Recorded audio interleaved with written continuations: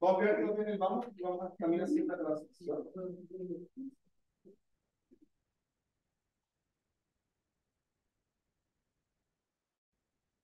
¿Estamos? Bueno, quiero partir primero agradeciéndoles la, el que estén acá. Muchísimas gracias. Y le damos la verdad bienvenida aquí al Museo Interactivo de la Astronomía. Me gusta mucho decir ese nombre, es una de las primeras también actividades dentro de este año en la cual estamos utilizando ese nombre, que es el nuevo, nueva manera en la cual nosotros vamos a querer ser conocidos, tanto para ustedes, tenemos a personas de la comunidad vecina, como también de la comunidad de colegas de, eh, de la astronomía y del patrimonio astronómico, que es muy interesante que podamos también mezclar esas dos áreas, ahí vamos a tener expertos que puedan hablar y aquí tenemos también al director ejecutivo del museo que nos va a dar unas palabras, pero yo como encargado del programa Cultura Astronómica, mi nombre es Sergio Vargas, estoy muy contento de recibirles en este lugar y que estén participando de esta, que es una de las iniciativas que hemos estado trabajando en conjunto con la Fundación Altura Patrimonio y que también forma parte de los del trabajo que buscamos en general. El que cambiemos de nombre, aquello que conocía como tú del universo y ahora como Museo Interactivo de Astronomía, esa palabra museo es clave, porque no queremos solo que, eh, que nuestro quehacer esté en donde nos es con, los visitantes y, el, y la, la, difusión de la astronomía, sino que también en el desarrollo de investigación, en el desarrollo de, un, de una cultura astronómica. Pero no voy a darle mucho, no voy a extender mucho la, la, el, el, inicio. Quiero dar las gracias acá a Daniela y a Enrique, quienes están acá y nos van a dar unas palabras.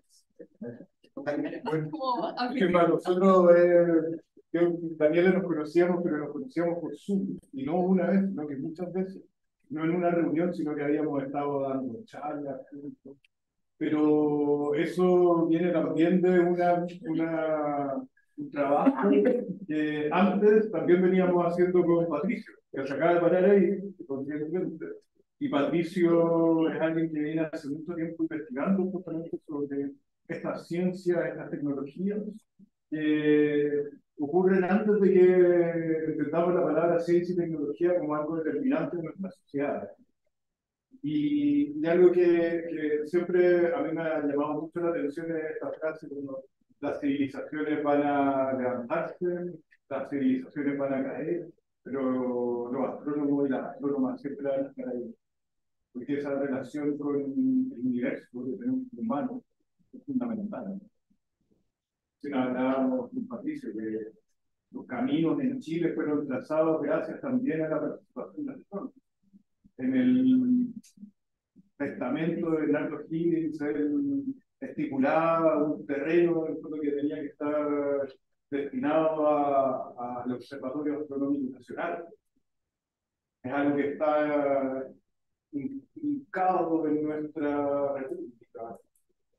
Y, hoy día, más que cualquier otro país, ese, ese destino que tal vez fue trazado al mismo tiempo que, otro, que otras naciones, eh, hoy día le da a Chile ese lugar que es en el mundo a partir de la instalación de los principales observatorios astronómicos eh, y radioobservatorios eh, sin embargo, ¿qué es eso sin una apropiación cultural? Eh, ¿Qué significa esa ciencia y la tecnología si es que no tenemos la capacidad de adoptarla como parte de nuestra identidad? Y esa es justamente la misión de este lugar, este Museo Interactivo de Astronomía, que no hace solamente divulgación, sino que también se va a empezar a preocupar para el tratamiento de contenido, de nuevos conocimientos, en, de invitación a investigadoras, investigadores que puedan venir a usar este lugar como un espacio de encuentro con otras investigadoras e investigadores, como un lugar donde vamos a poder, a partir de esto, ir componiendo justamente ese entramado cultural entre la sociedad y la astronomía para que esos contenidos, que muchas veces están en un lenguaje que es incomprensible para el común de la ciudad, eh, gracias a este esfuerzo para poder ser adoptados por la comunidad en general. Y ahí hay ambiciones que son bien culturales, por ejemplo, que exista y que se potencie en el currículum del Ministerio de Educación, más la educación nacional. Que no solamente eso esté en los lugares donde, por ejemplo, es evidente, en el norte de Chile, sino que también en el sur, donde hay conocimientos ancestrales que y en la construcción de una ciencia ciudadana de la astronomía. Por eso nos parece tan importante la nosotros que nos estén acompañando ustedes acá, porque también entendemos que ustedes no solamente vienen a escuchar esta charla, sino que también vienen a entregarnos sus conocimientos sobre qué es para ustedes la astronomía o cuál es esa relación que consideran muy importante entre el universo, las estrellas y lo humano. Yo solamente como, un, dato que me parece muy interesante investigar y que es uno de los desafíos que nos hemos puesto con Sergio, que fue el curador de hecho del universo. Eh, Patricio también me contaba que hace mucho tiempo trabajó haciendo clases desde, desde los inicios de esta institución la astronomía está integrada. Pero claro, nos interesa mucho también comprender, por ejemplo, esos orígenes astronómicos de la cueca. Nos han dicho que en la cueca también hay eh, una inspiración sobre la astronomía. Y esos son de los misterios que nos interesa mucho resolver y que eh, yo, claro, eh, en ese sentido también agradezco la participación del profesor Hidalgo, que la investigación que hicieron justamente sobre historia de la astronomía en Chile, una historia social, política, científica, tecnológica. Eh, necesitamos que empiece a ser mucho más eh, presente en nuestra comunidad. Con eso, les pido un aplauso, por favor, para Daniela, para que pueda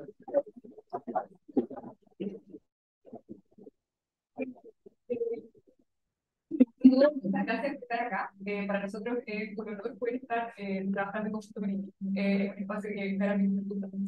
Eh, y un poco este museo interactivo de la astronomía es que nosotros desde la Fundación Altura Patrimonio tenemos un poco un sueño compartido.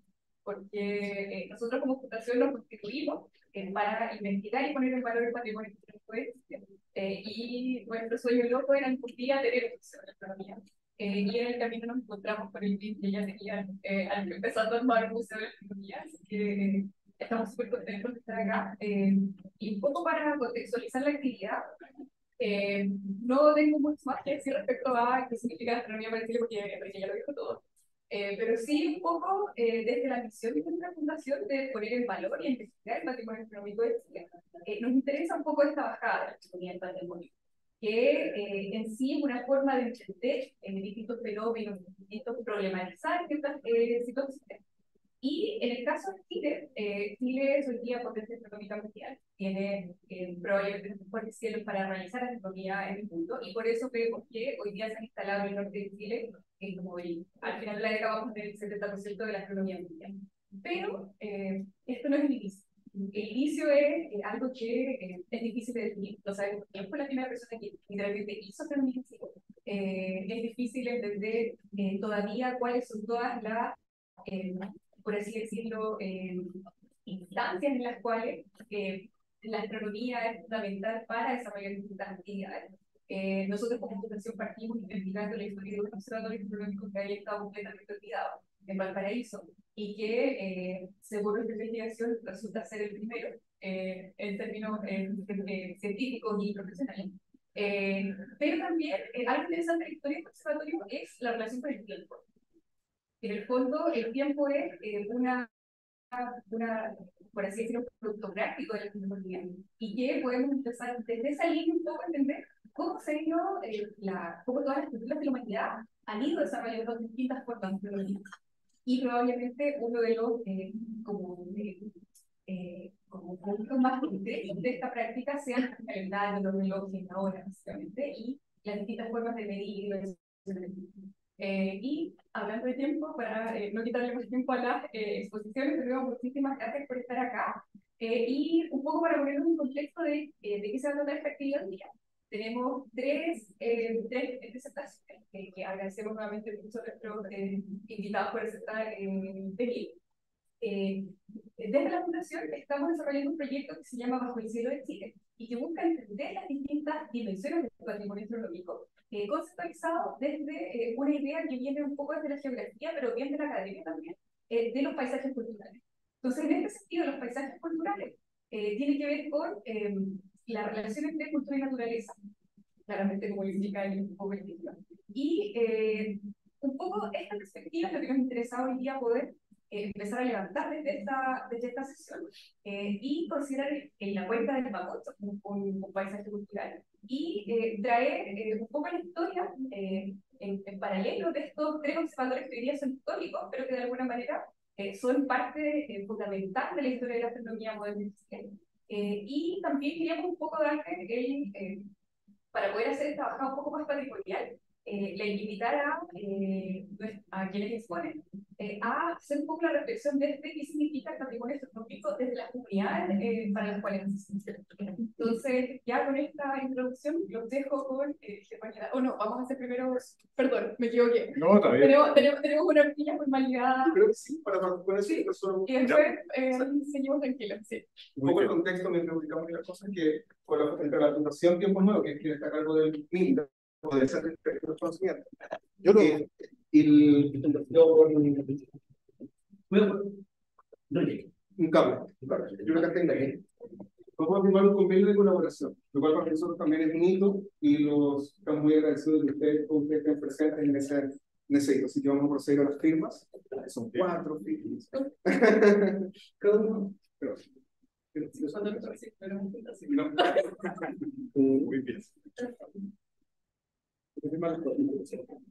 no. Yo creo que con todo. Ya, Después, después, después, después que estamos hablando.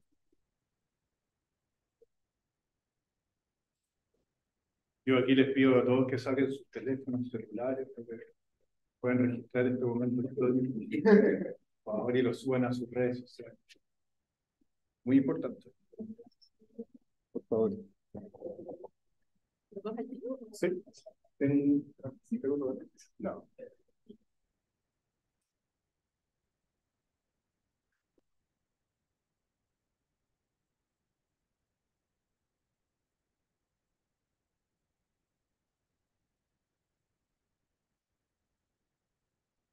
Aplausos.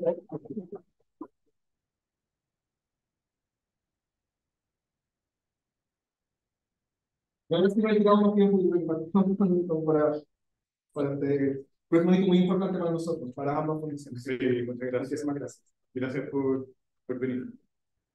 Bueno, eh, Reconfiguramos pero sí, tengo que volver a ordenar un poco el... el...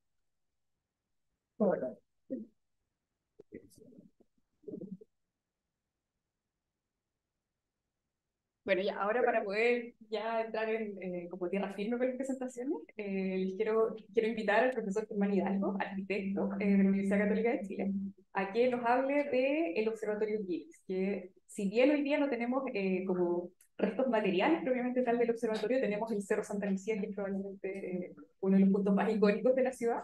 Eh, y nada, Germán. sí.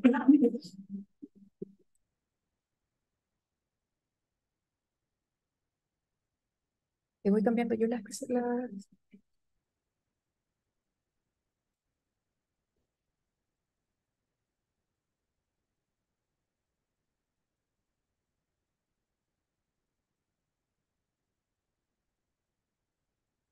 Segundo que tengo que compartir.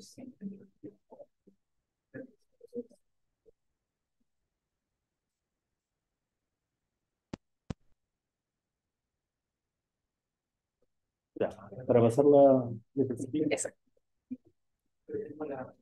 Nico, a ver,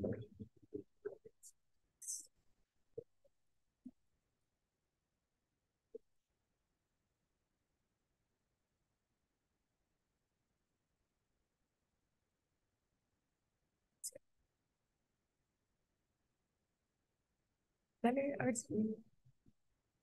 No, no paso. No, quizá no funciona con Mac. Yo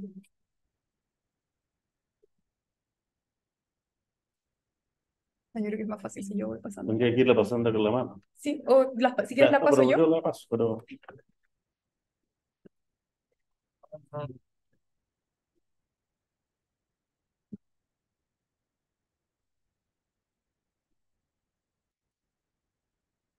Ya. Muy bien. Buenas tardes. Muchas gracias por la invitación a, a Daniela, sobre todo que me ha hecho esta sorpresa de presentar un trabajo de investigación.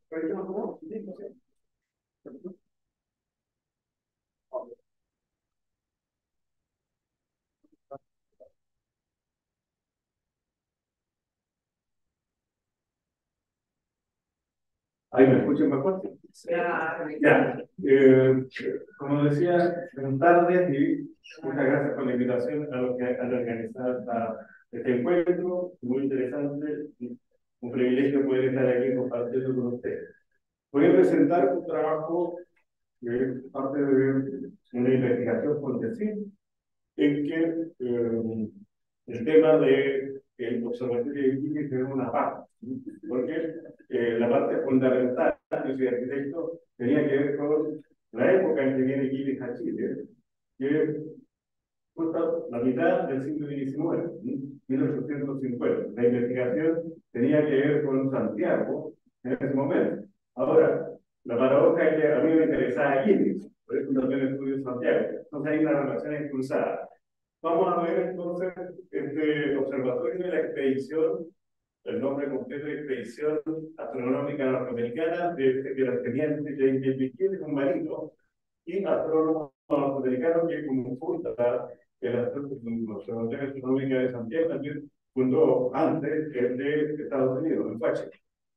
Por eso entonces el subtítulo de Santiago de Chile entre 1849 y 1852 y es el periodo en que está la expedición en Chile. Este es un trabajo, como digo, no como tiene fondos públicos, también siempre tenía este interés de que eh, los contenidos puedan ser eh, difundidos y compartidos en la comunidad. Entonces, básicamente, vamos a ver primero los materiales con que trabajé. Uno es el informe que hizo Aquiles cuando volvió a Washington en el 52 él lo publica en el 55, que es un primer volumen en que dedica explicar Chile completo, una de las grandes cosas que hace, y el capítulo octavo lo dedica a Santiago. Y el trabajo se dedica principalmente a estudiar ese capítulo y los documentos que hay ahí. Pero tiene muchos otros capítulos donde revisa prácticamente todo el conocimiento que había. Además tiene otros seis tomos donde hace la... Eh, los registros de todos los experimentos que se hicieron en, en Santiago. Por lo tanto, una obra muy, muy vasta. Este es el capítulo 8 que contiene el índice de los temas que aborda para explicar cómo era Santiago en aquella época. Junto con eso, en aquella época no era muy frecuente utilizar imágenes. Y hizo todos los esfuerzos para que su obra quedara lo, lo mejor ilustrada posible. Lo que tenemos acá es un plano de Santiago, una vista general, panorámica de Santiago y vistas parciales de un edificio tan importante en ese momento como el actual Palacio de la Moneda, lo que se llamaba, este le llamaban el Palacio, que estaba frente a la Plaza de Armas, y son los tres edificios institucionales más importantes que existían en ese momento, partiendo por el que está aquí en la esquina, que aún sigue siendo la municipalidad. Y por supuesto, el Cerro Santo Lucía, que fue donde se instaló el observatorio. Además, hay otro plan que también es muy interesante, eh, Gilles tenía toda en mente, era poder eh, representar geográficamente este entorno. Entonces, la, eh, el plano de la provincia de Santiago de aquel Bueno, ahí tenemos aquí, como digo, en parte, muy modestamente como un marino, a cargo de la oficina donde están las cartas de navegación y así se adentro de lo que es la astronomía, participa en otros proyectos expedicionarios en torno a la astronomía y recibe este, esta propuesta de hacer un experimento a nivel eh, mundial, de punta, que se la propone un científico eh, alemán, que quería eh, realizar la medición de la Tierra a el Sol de manera actualizada. Y para eso se necesitaba un observatorio el, el hemisferio sur. Así es como llegan a Chile. Bueno, este, es este, este marino. Todo esto parte, y lo que decía, mi mayor interés era estudiar este, este documento, que es una vista panorámica de Santiago, en torno a 1850, Gilles solicita a uno de sus ayudantes hacer. ¿Cómo lo hacen? Es un gran misterio, eso es algo que todavía no lo tengo completamente resuelto, pero este es el resultado de una litografía, la manera de eh, reproducir imágenes en aquella época. Ahí hay un pequeño indicio de cómo se hizo, aparentemente hay una cámara que está detrás de esto. Este es el lugar, ¿cierto? Eh, Santa Lucía, apenas era un peñón, eh, van a pasar eh, muchos años de que esto se vuelva urbano, se, se vuelva paseo. Ustedes se pueden ubicar aquí inmediatamente. En el día de hoy, este edificio que está acá es la Escuela de Arquitectura de la Universidad de Chile, por lo tanto aquí está, delante de este edificio está Portugal y por acá la Alameda. En el día de hoy aquí está la remodelación San Jorge. Y de aquí se mira el cerro, esta es el, la terraza que hace la Alameda y otro lo que cae hacia el de las Y ahí están los dos observatorios o casetas que habían en ese instante de esta expedición. En uno estaba el telescopio ecuatorial, en otro el círculo mediano, y estas eh, construcciones que ya eran existentes también se aprovecharon. Estas dos casetas las trajo Gillis, barco, eran una construcción prefabricada, muy, muy, de alguna manera precaria, modesta, pero servían para la instalación. Este es un trabajo que simplemente sirve para contratar la veracidad de la imagen que tiene. Por ejemplo, esta es la calle Lira. Esta, este, este quiebre que tiene la calle eh, Lira de cara a la Alameda sigue siendo así hasta la actualidad. En el día de hoy, en esta manzana, acá está la casa central de la Universidad Católica. Entonces son miradas inversas. Cómo se veía desde el cerro hacia abajo, estamos viendo aquí, y cómo se veía desde abajo hacia el cerro. El ángulo de visión es más o menos este. En el fondo, estos son ejercicios para demostrar la veracidad del documento. Además, esto se puede contrastar con fotografías eh, más o menos contemporáneas, tiempo después, pero ustedes pueden ver que se da cuenta aquí la calle Lira que está en giro. El fondo, el registro que hizo Gilles fue muy verídico de lo que era la ciudad en aquel instante. Esta es la calle Carmen. Y Fíjense ustedes que la sinuosidad que tiene la calle, es media fecha, ¿cierto? Tiene esa curva, está perfectamente registrada. Esta es una vista, entonces, desde la vista panorámica hacia la zona oriente de Santiago. Esta es Isidro y esta es la calle eh, Carmen y la otra es Lira. Bueno, el plano. El plano no es tan fidedigno como la, la vista panorámica, es más bien un esquema pero que algo muy interesante, que junto al plano, Gibbs elaboró un listado de ciertas instituciones que le interesaron, que vamos a detenernos luego allí. Eh, lo interesante es que él aquí le da mérito a que el plano fue realizado con ayuda de jóvenes, eran muy jóvenes, eh, militares de la Academia Militar, y que algunos de ellos se habían ido a eh, formar en el ámbito de la cartografía a Francia. Entonces le, le rinde ese, ese homenaje. Un breve paréntesis. ¿Cómo era Santiago en aquella época? Santiago estaba circunscrito a lo que conocemos hoy como el río Mapocho, el mismo cerro de Santa Lucía, lo que nosotros conocemos hoy como la Alameda, y más o menos un poco antes de llegar a lo que es la calle eh, Brasil, o Avenida Brasil. Esa era la ciudad. Y se extendía, pero de manera rural, hacia el norte, porque ya estaba instalado el cementerio general, esto de 1820 más o menos, y hacia el sur no tenía un límite preciso y era bastante regular. Había instituciones religiosas y había caminos. No era, no era mucho más lo que había. Entonces, es interesante saber a qué ciudad llega aquí. Lo que es interesante es que entre 1850 y 1860, cuando se hace este otro vista panorámica, Santiago cambia radicalmente. Va a haber un salto tremendo en esa época y es curioso que coincida con la avenida de Quilmes. Principalmente porque van a aparecer, sobre todo en la calle Huérfano y en torno a la plaza, una serie de edificios distintos a los que existían en aquella época, que eran coloniales.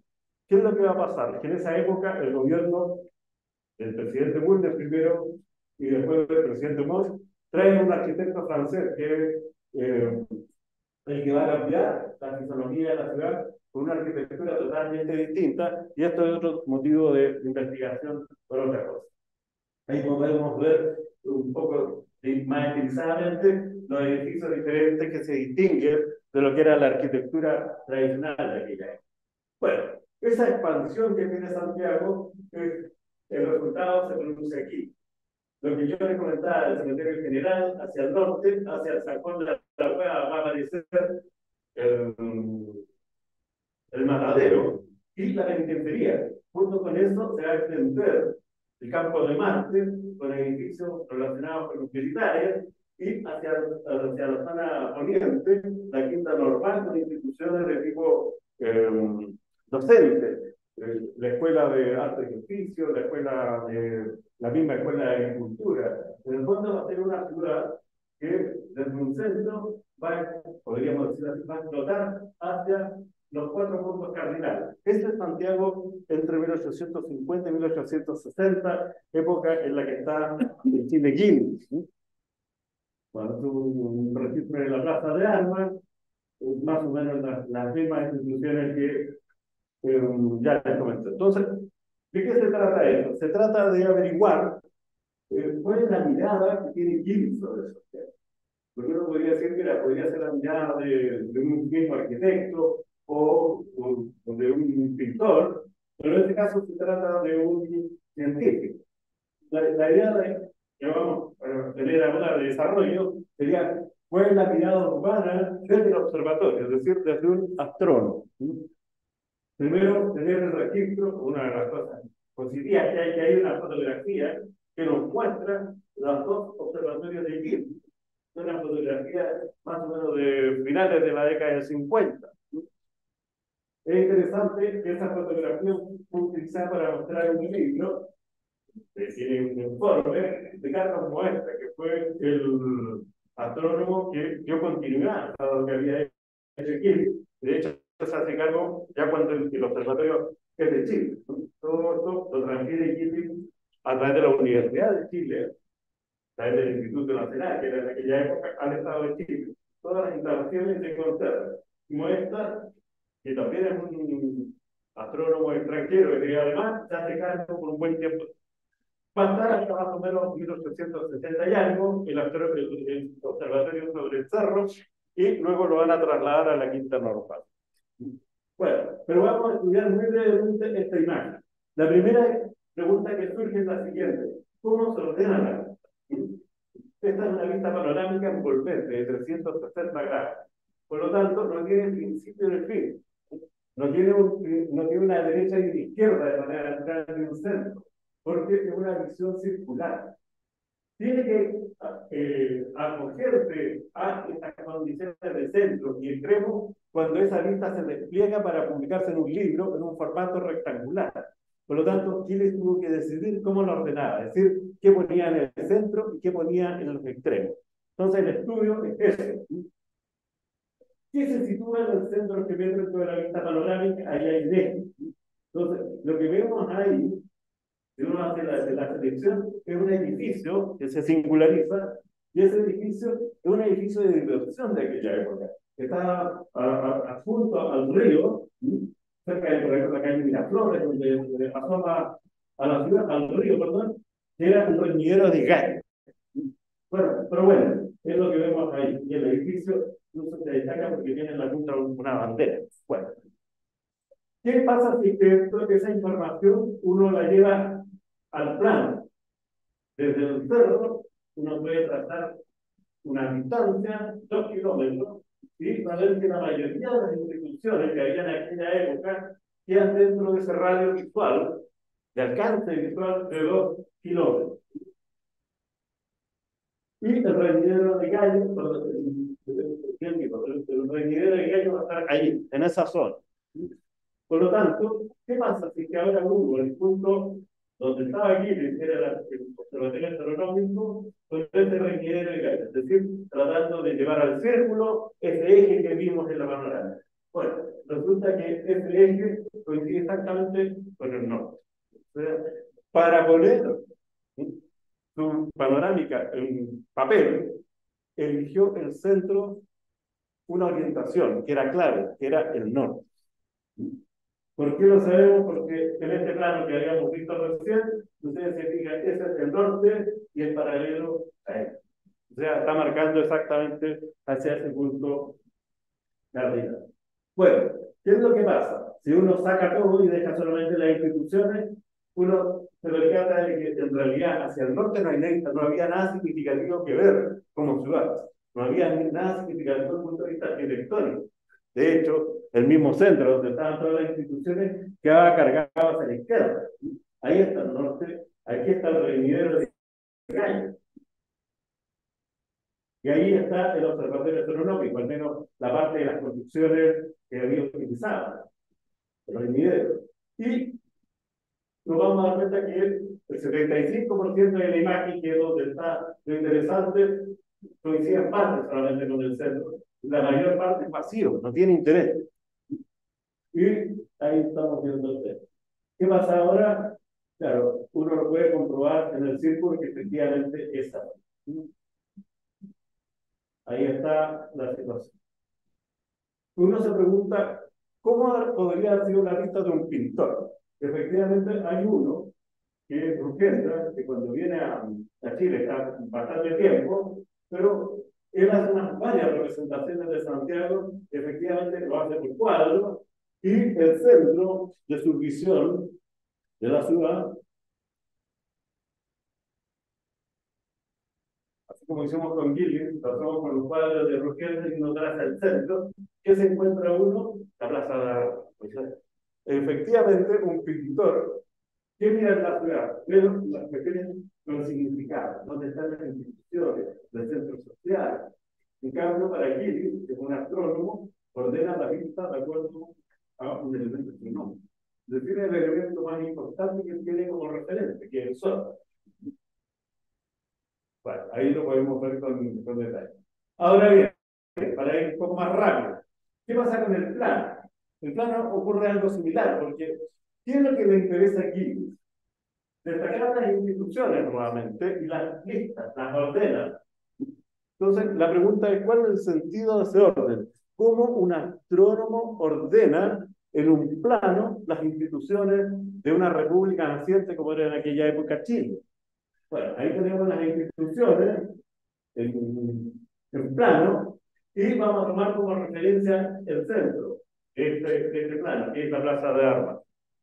¿Qué es lo que ocurre? Si tomamos el plano, si tomamos el listado, vamos a ver que las primeras siete instituciones son monasterios, es decir, están dedicados a la iglesia, monasterios, grandes claustros.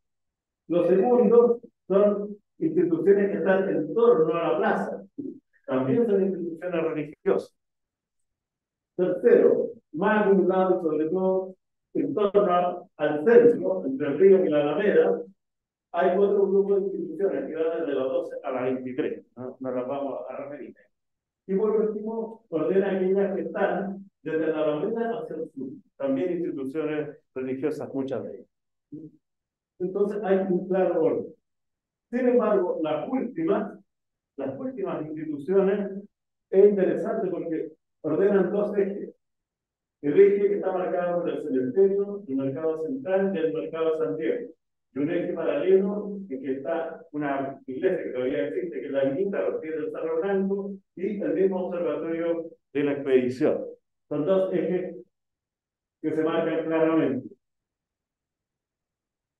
¿Qué es lo interesante? Ya sabíamos que por el observatorio pasa al norte.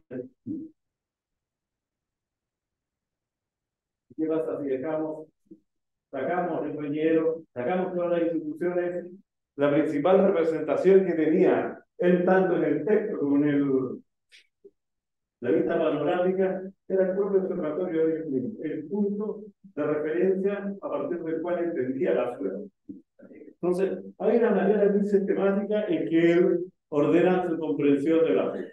Por último, tiene un texto, texto de casi 80 páginas, donde describe su aproximación a la fe parte describiendo hasta que tenía sus así porque desde el cerro la ciudad se desplegaba a los pies de lo que era el observatorio. Entre las cosas que destaca mucho el Paseo de Alameda, que dice que es superior a cualquier otra que conociera. Imagínense que venía de Washington, Estados Unidos. Después pasa por la catedral. Después habla de las instituciones religiosas. Eh, habla, por ejemplo, de la, de la orden de Balancero. Habla de los palacios que habíamos visto en imágenes. La moneda y el palacio. Es interesante. La moneda, justamente en la, época anterior, 1846, se transforma en palacio de gobierno. Hasta ese entonces había sido una fábrica, fábrica donde se tenía moneda. Pero el presidente Mon traslada, perdón, Bulnes traslada el palacio o la sede de gobierno desde la Plaza de Armas hacia la moneda como una manera de sacarse encima los significados españoles, ¿cierto?, de dominio. Bueno, ahí están los edificios que habíamos comentado. Después sigue con los mercados, mercado central, mercado San Diego. Habla de las Virginias y las compara con las de Virginia, de su Burrunio. Habla de este lugar que era un paseo, que era un Tajamares, al lado en torno al río. Y habla de las instituciones de formación que también hicimos, la universidad, la Academia Militar, el Instituto Nacional, la Escuela Preceptora, etcétera, instituciones de reclusión, es interesante que las mezcla todas, estas son de un análisis hecho, no que las nombra así, sino que es el orden que aparece en el sistema.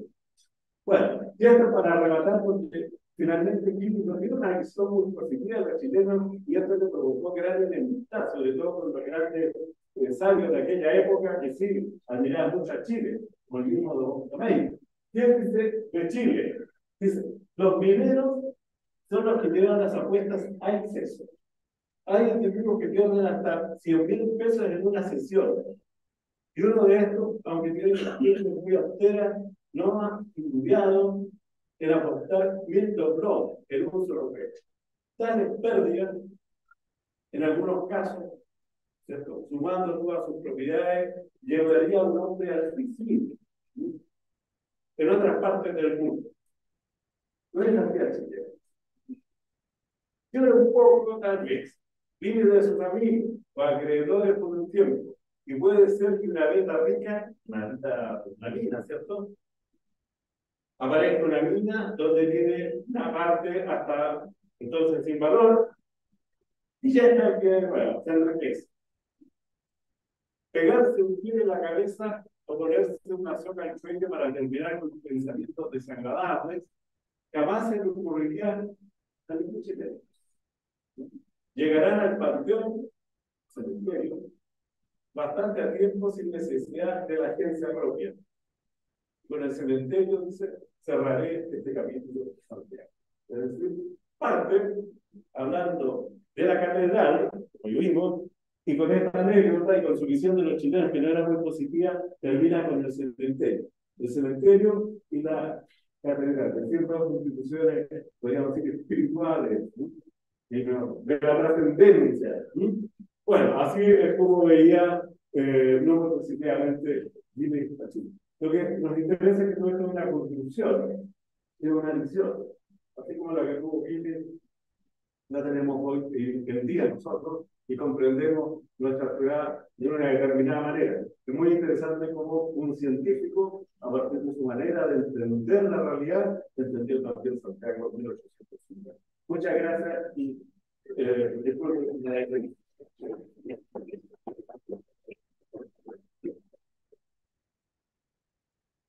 Bueno, muchas gracias, Germán, por la eh, excelente presentación.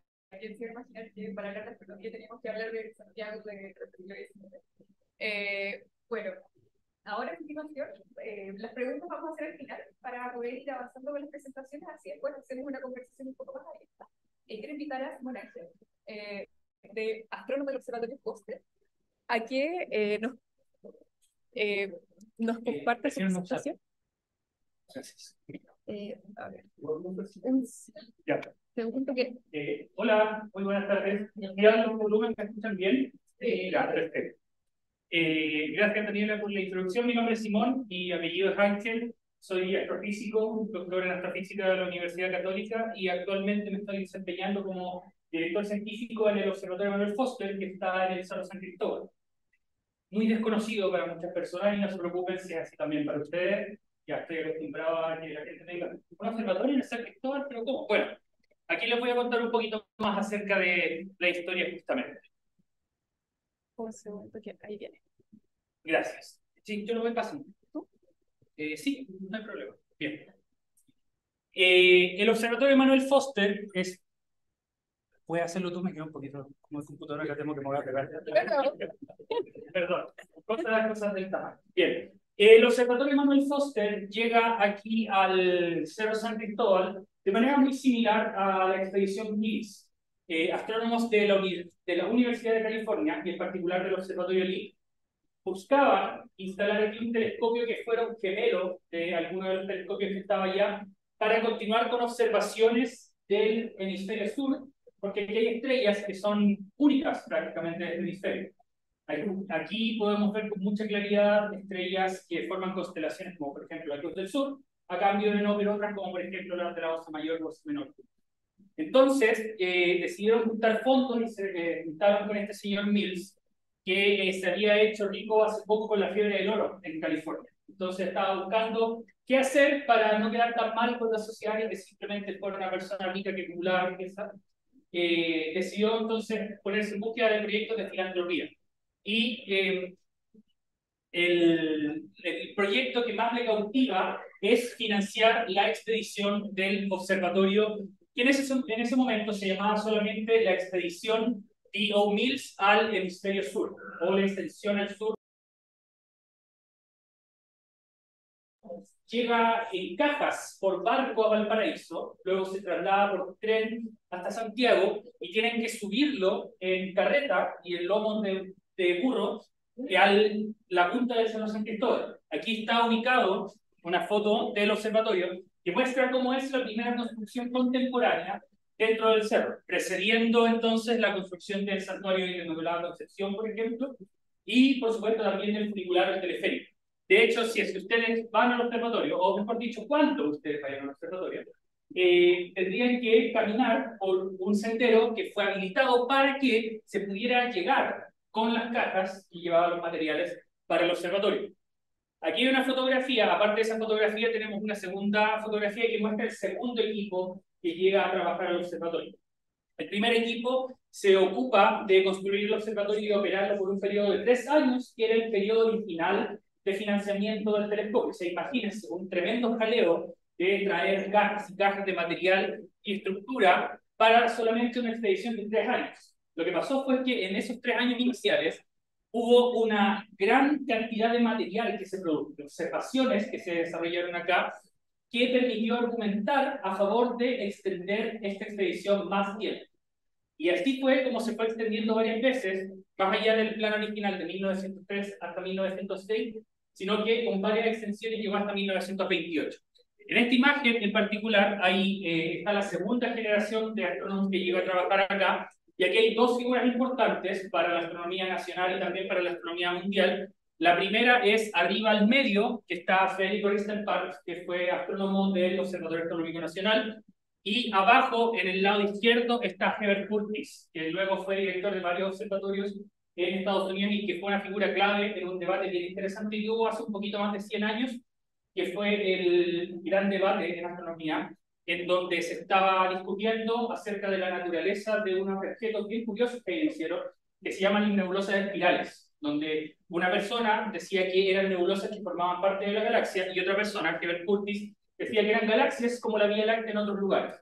Este debate se cerró años después de que Curtis saliera del observatorio Foster eh, con mediciones de distancia que hizo eh, David Hubble y con algunas de sus colaboradores. ¿Puedes pasar a la siguiente, Daniela, por favor?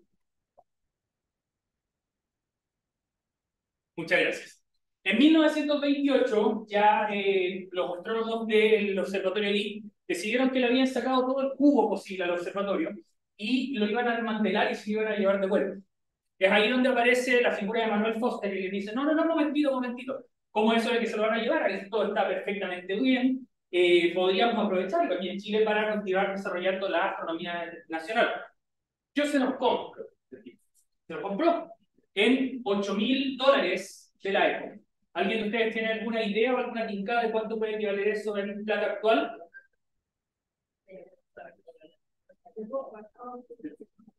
Son más o menos 120 millones de pesos. O sea, fue como comprar una casa, la diferencia que el tipo llegó y dijo, ya, eh, se la pongo.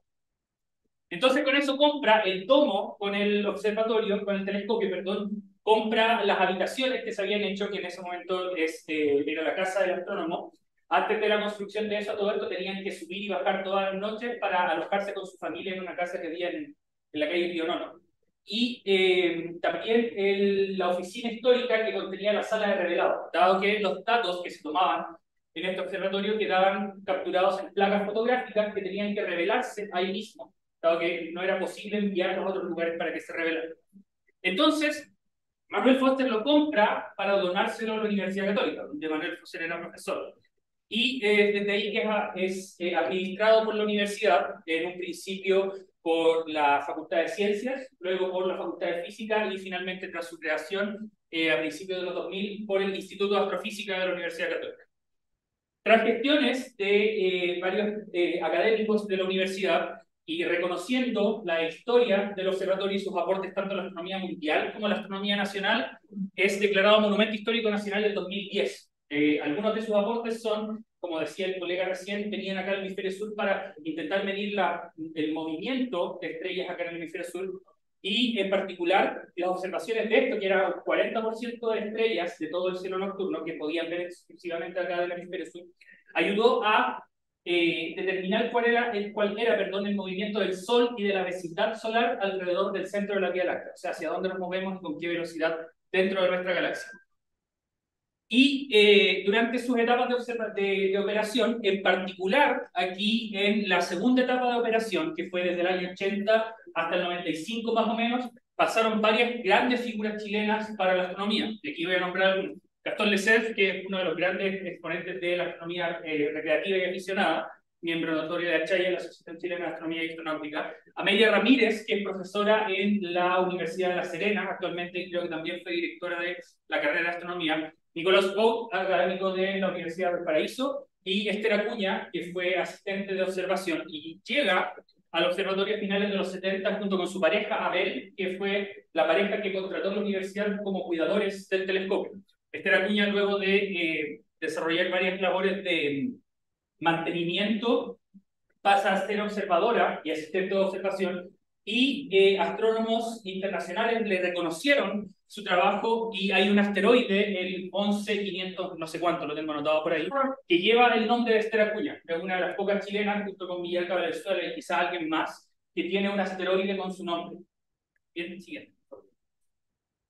¿Qué es lo que estamos haciendo para poner en valor el observatorio? Eh, desde julio de 2022 se comenzó a, perdón, comenzamos a abrir de manera permanente al público, tras varias gestiones, principalmente gestiones burocráticas con el Parque Met, dado que estamos situados dentro del San Cristóbal, tuvimos que, así como ustedes celebraron un convenio recién, celebrar también un convenio entre Universidad Católica y Parque Met que nos permitía entonces operar y desarrollamos tres actividades principalmente desde julio de 2022.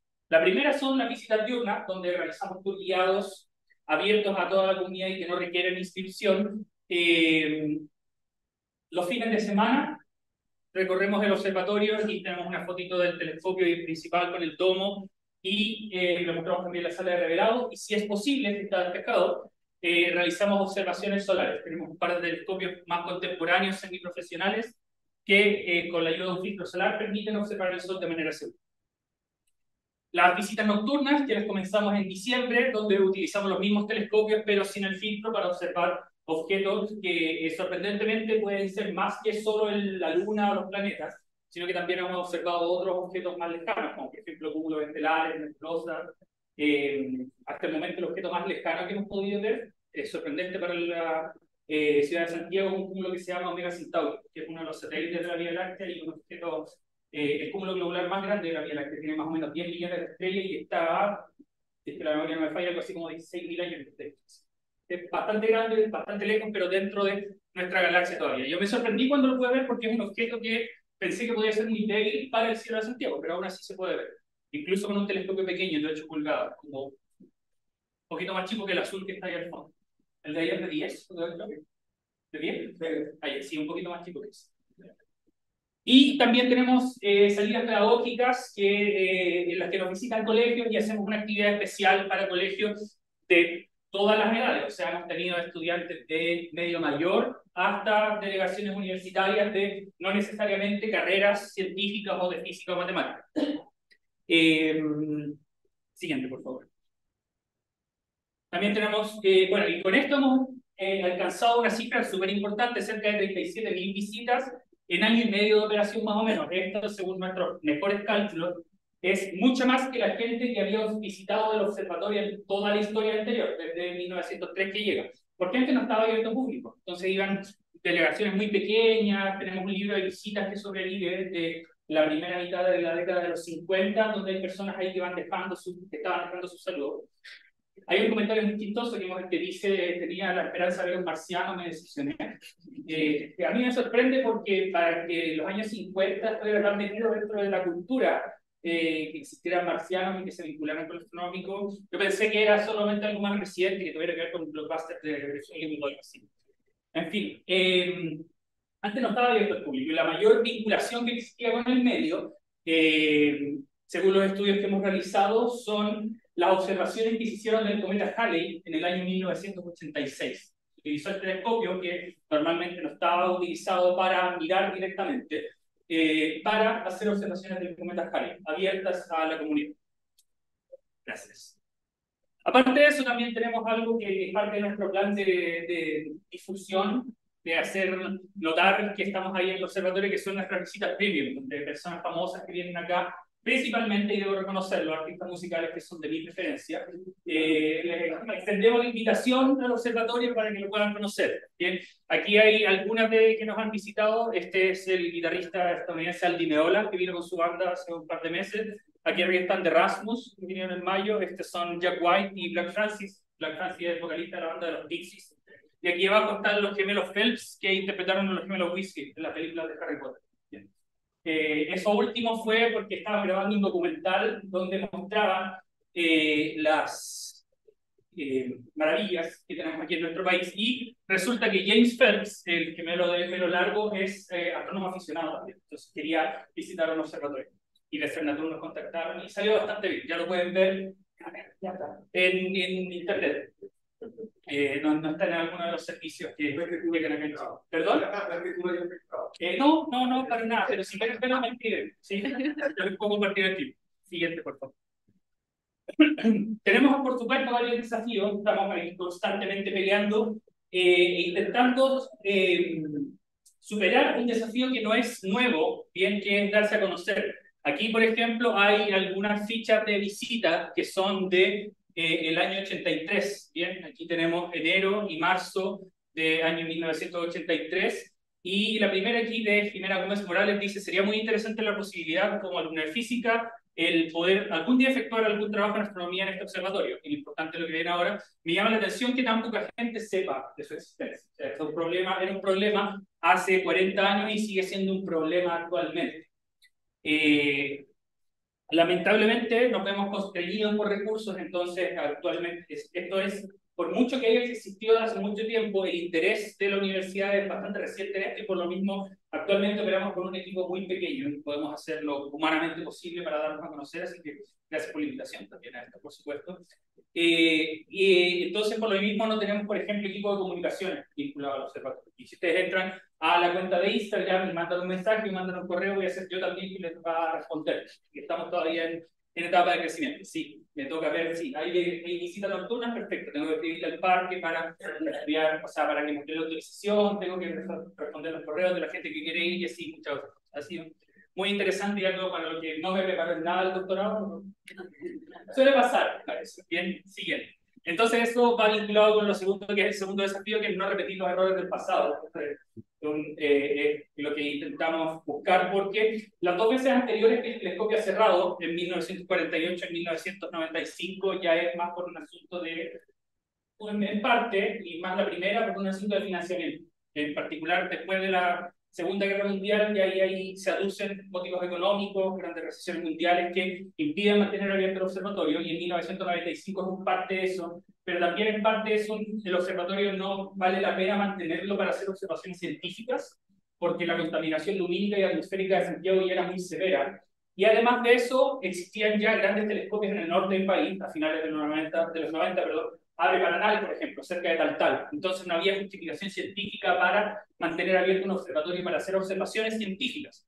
Sin embargo, creemos que ahora sí existe la motivación suficiente para mantener esta joyita abierta considerando que es un monumento histórico nacional y es, eh, hasta donde sé, es el, al menos en la región metropolitana, o sea, ahí puede haber un asunto de, de definiciones en las que podemos poner un poco pedantes, es el único lugar de astronomía en que está abierto más o menos igual a cómo fue instalado.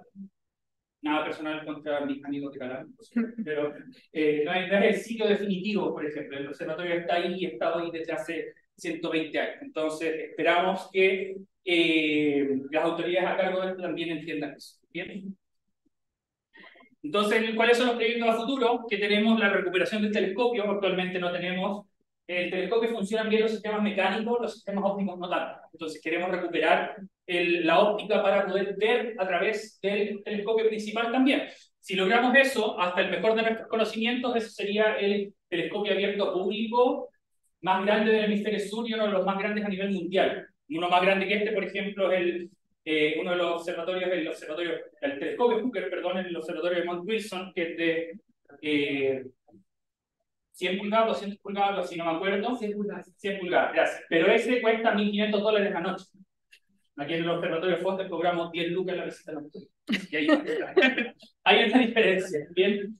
Eh, lo siguiente es una exposición de la Luna, una muestra temporal o semipermanente con regolito lunar de misiones Apolo. Aquí en Chile hay dos muestras de, eh, que trajo de vuelta la misión Apolo, que llegaron a principios de los 70. Una de ellas en, la, en el Museo Nacional de Historia Natural y otra en la Casa Museo de Ordo Frei Montalva, que se tomó muy de personal el regalo al parecer y se lo llevaron para allá, algo que debería ser de todo el país.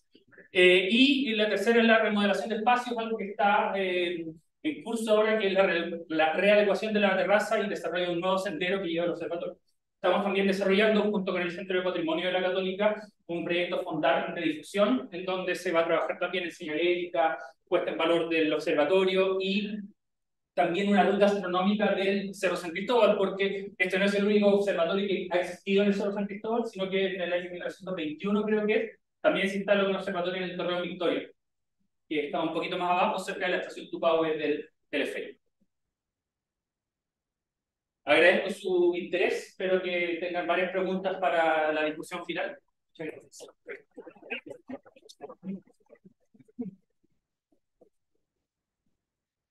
Bueno, muchas gracias, Simón. Y ahora ya tenemos a nuestro, último invitado para cerrar esta sesión, la parte de, de exposiciones. Eh, nos van a hablar eh, un poco, y aquí como, eh, es interesante porque no lo pensamos así, pero un poco nos está funcionando así, que partimos con el observatorio IRI, que eh, es el antecedente o lo que finalmente se termina transformando en el observatorio OAN, el Observatorio Astronómico Nacional. Entonces, eh,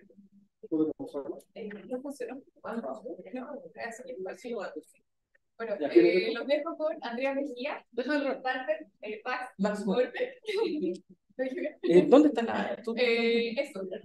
¿Dónde? ¿Tú lo tenías? ¿Lo tenías? Sí, está acá. Sí, yo lo paso, pero que un segundo que me cambia la resolución de la... Ah, cambia la resolución, no se ve nada. Sí, eso es el... Eso, del principio. Entonces, un segundo porque tengo que compartir pantalla. Yo creo, que sí. Ya, si lo uso, no, si lo necesito, te aviso. Sí, lo necesito. Claro. No, no, no. Hablo fuerte. ¿Se está compartiendo la pantalla? Sí, Ya. Hola, hola, Gracias. Eh, bueno, yo soy eh, Walter Pazuelo, soy profesor de la Universidad de Chile y, y Andrea es, nuestra astrónoma también está encargada de varias cosas y nos va a contar un poco más de, de, lo, que, de lo que hace ella en el observatorio. Y siento un poco peso en el agua acá en esta presentación porque en realidad yo soy astrónomo eh, y, y, en, el Observatorio Astronómico Nacional yo siempre lo he visto como, como una, el Observatorio Astronómico Nacional, no un observatorio histórico como los otros observatorios históricos, porque es un instituto de investigación que está activo. Es parte de la Universidad de Chile, de un lugar donde hay astrónomos profesionales que todavía trabajan y todavía hacen astronomía, pero tenemos una historia bien larga que empezó eh, después del observatorio de Gillis, eh, cuando el observatorio fue adquirido por el, por, el, por, por el gobierno de Chile. Entonces, de alguna manera, tenemos esta historia, pero no somos una institución histórica como pobladora, digo yo. Es como que es un poco diferente, pero igual les voy a contar un poco de esa historia. Todo empezó en el, en el observatorio, eh, con el observatorio de Gillis, del que ya escuchamos, una historia bien interesante ver, de, ver que, cómo, cómo, cómo, cómo fue ese, ese proyecto. Eh, pero en el año, en el año eh, 1852 esto fue adquirido por el, por el gobierno de Chile, como, como le dijo también Enrique, que era una idea que tenía Bernardo Higgins, así que era una idea que siempre, siempre estuvo la idea dando vuelta de que hiciéramos astronomía acá de Chile, por una razón súper natural. O sea, la astronomía siempre ha sido súper fundamental para muchas cosas, por ejemplo, la, la, la, la Armada Estados Unidos tenía esa expedición porque ellos querían entender el cielo, para poder navegar en el cielo, para poder medir el tiempo. Tiene que ver con una cosa bien práctica en realidad la astronomía, por eso siempre ha estado eh, ligada al desarrollo. Eh, y ahí empieza la historia del observatorio, que está ahí en, el Cerro Santa Lucía. Y una parte, yo les voy a contar una parte de la parte de la historia que les voy a contar en realidad es cómo se movió el telescopio, porque el telescopio, estos, observatorios se han movido por toda la ciudad. Entonces, es una, una cosa bien interesante porque, al, al, contrario de lo que, lo que decía Simón, el Foster siempre ha estado ahí, nosotros hemos estado por todos el, el, observatorio partió acá, en el Cerro Santa Lucía, y se dio la vuelta entera, eh, como les voy a mostrar ahora, por, por toda la ciudad. Después de la, del Santa Lucía se movió rápidamente a la quinta normal, alejándose de la ciudad, porque bueno, como vimos recién en la presentación anterior, ahí ya no era ciudad, era afuera de la ciudad, se lo llevaron allá, arrancando de la, de la, de la, de, de la contaminación, de todo lo que era, no era un buen lugar. Entonces, esto, esto todavía hay restos de estos observatorios, ustedes van a la quinta normal, está la Dirección General de Aeronáutica Civil, y hay un doble. Ustedes lo pueden ver, es instalado en el Museo de Artequita, un lugar bien... Yo nunca he entrado, de hecho, quiero ir un día con la excusa de decirle que soy astrónomo del Observatorio Astronómico y quiero entrar. Pero ya hay, hay restos de ese observatorio ahí. Y el observatorio se siguió moviendo después, ahí fue cuando se fue a la quinta normal, a Mercado de Santiago. Pero Santiago rápidamente se extendió y llegó a esa parte. Entonces llegó y el observatorio no tuvo que arrancar. Y el observatorio se fue al espejo, fue al sur de la ciudad. Y ahí realmente había un plan maestro bien grande que Agasta, entiendo que esto nunca se construyó en realidad, eh, eh, pero un plan así de un observatorio eh, gigantesco. O sea, también es una cosa también que también me gusta destacar, es que a veces nosotros pensamos como que nosotros nos convertimos en la capital mundial de la astronomía por, por una casualidad de tener los cielos buenos. Siempre hubo una visión acá de la astronomía, y la gente siempre empujó a que tuviéramos astronomía, en particular, por ejemplo, astrónomos del Observatorio Astronómico Nacional siempre estuvieron empujando para promover los cielos chilenos, para que, para que tuviéramos todas estas cosas acá, y los gobiernos nos han seguido apoyando, eh, con, por ejemplo, con las políticas del 10% de tiempo de telescopio que nos permiten a nosotros hacer ciencia, así que es una cosa que, que de verdad hemos construido a lo largo de la historia, la, la, la, la potencia de lo que llamamos hacer en astronomía. Y se movían los espejos, se fijan. Entonces, en ese momento también eso era fuera de la ciudad, y era completamente dentro de la ciudad. Y después resulta que en los años 50 ya era evidente que no podíamos seguir haciendo astronomía en los espejos, así que había que arrancar a un lugar remoto de la ciudad. Y el lugar escogido fue el, observatorio, el lugar que tiene ahora el, el, el Observatorio Lugares de Cerro Calán. Porque Cerro Calán, en ese tiempo, acá se, acá se ve un poco al fondo, quizás está, difícil ver acá, se ve esta foto, eran chacras.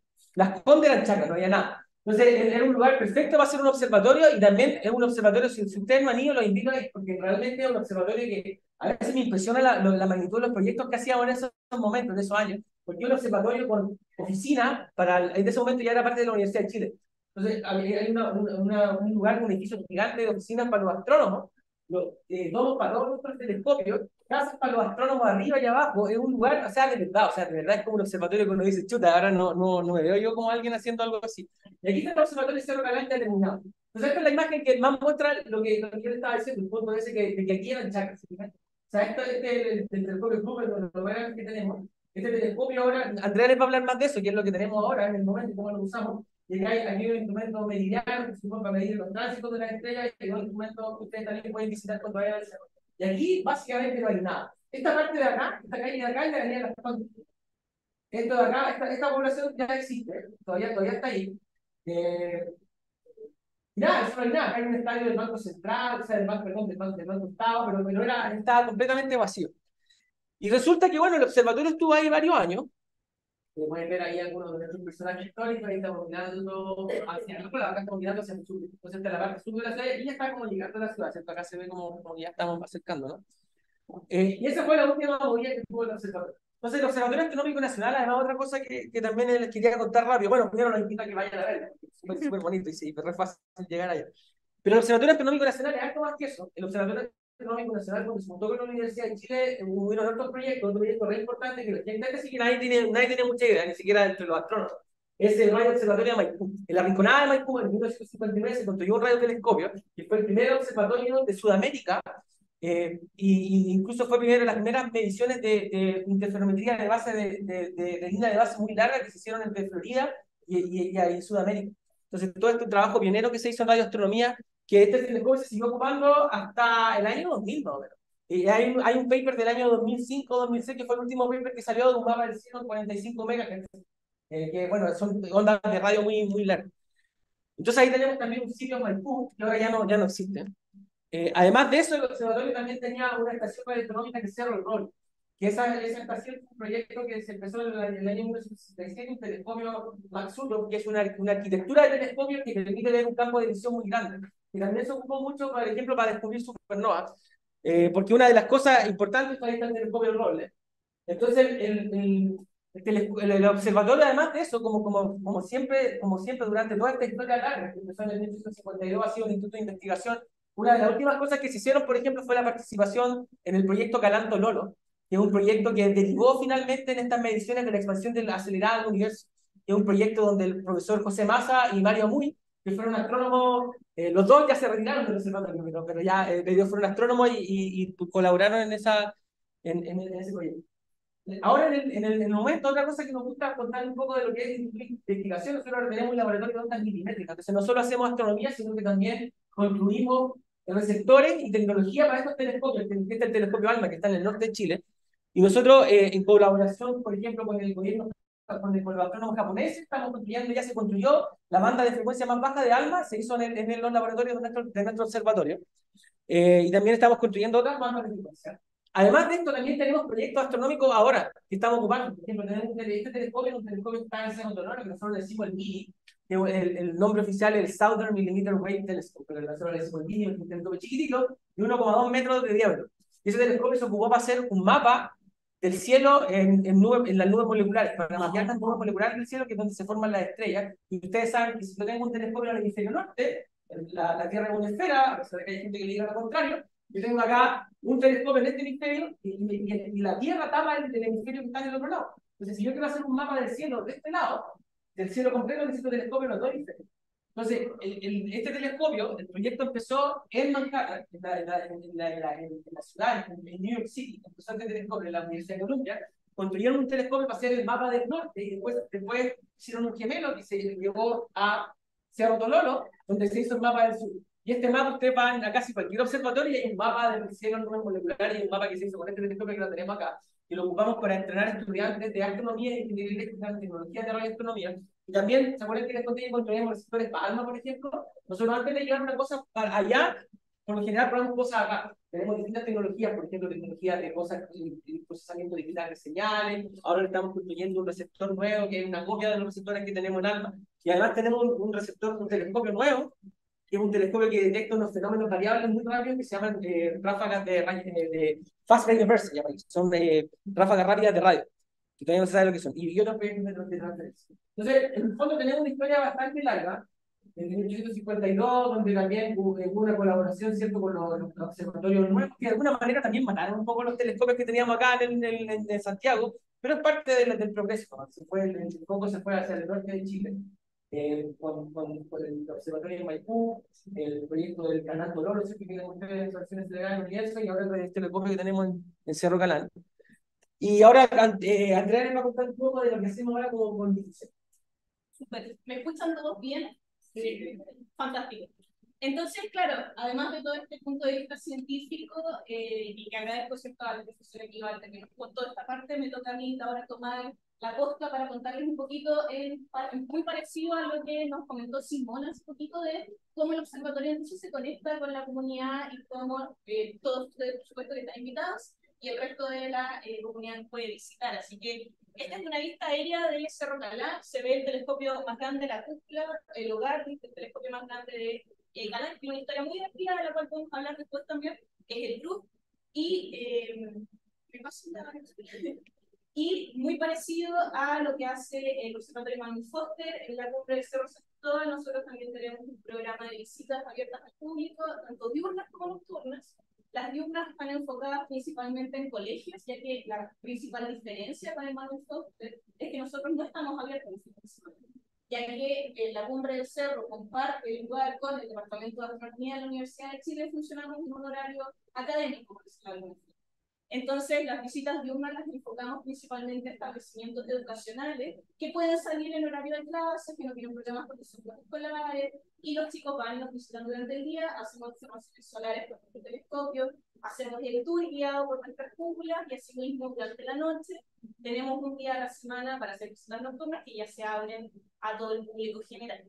Entonces acá hay un ejemplo que aproveché de poner esta foto ya que tiene una muestra muy linda que eh, llegó a Cerro Calán gracias a G-Museo, el Museo Interactivo Mirador, que tiene una especie de línea de tiempo con unas gráficas y dibujos técnicos preciosos de las cúpulas que tenemos con los distintos telescopios eh, y cómo se fue moviendo, ¿cierto?, a lo largo de los años. Entonces ahí hay un colegio viendo esta muestra que tenemos todavía desde el Día del Patrimonio de este año, desde mayo, en Cerro Calán, y durante la noche entonces uno de nuestros telescopios históricos, el Haide, que es un telescopio que fue diseñado en 1850, en la última mitad de, de, los 1800, operando durante la noche, así que también está la posibilidad de incluso usar todavía estos telescopios para las visitas nocturnas, y hay un grupo de personas disfrutando de algún planeta probablemente con el Haide.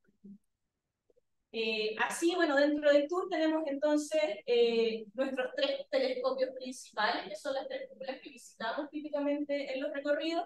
Ya les hablé un poquito del Haide, que es la típica imagen de telescopio más largo, ¿cierto? que uno se imagina con esta vista más romántica de la astronomía. Pero tenemos otros dos equipos, el Gautier, que es un telescopio francés, que es un astrógrafo, ya que igual que el telescopio del eh, Observatorio Manuel Foster saca fotos con placas fotográficas, sacaba imágenes, podía tener un registro del cielo, cosa que con el Haide no era posible. El Haide, eh, cuando había astrónomos tomando datos, había que dibujar, había que registrar a mano todo lo que se hacía, el gobierno dio la posibilidad de tener un registro permanente de lo que se observaba en el cielo. Y el telescopio que tenemos más moderno, que fue donado por el pueblo japonés en el año 2002, es el Goto, un telescopio que ya lleva 20 años con nosotros, de 45 centímetros de diámetro, que es completamente computarizado y se opera desde una sala de control que está en el mismo edificio. Entonces también podemos hacer una especie de viaje en el tiempo de la astronomía y le contamos a la gente cómo fueron los inicios, cómo era la astronomía más análoga y cómo es hoy en día la astronomía un poquito más digital y cómo funcionan también los observatorios en el norte. Así que además de este programa de visitas, también Cerro Calán abre esporádicamente para todo el público sin necesidad de inscripciones, por ejemplo, como lo es el Día, de los Patrimonios, que este año eh, recibimos alrededor de 4.600 personas. Nosotros abrimos un único día de patrimonio, típicamente se celebra el fin de semana completo. Nosotros solo abrimos el día sábado y llegaron 4.600 personas a la cumbre del cerro. Ahí tenemos una, una charla que tuvimos que hacer a campo abierto del profesor José Massa, le vamos a hacer dentro de un auditorio, pero la cantidad de gente arrasó, así que instalamos unos micrófonos rápidamente y hablamos de una explanada completamente abierta. Y ahí también hay, eh, un ejemplo, uno de nuestros monitores del equipo de extensión, dando la charla con el Gautier durante ese mismo día. Así que con eso finalizamos y muchas, muchas gracias. Estaremos atentos a su preguntas.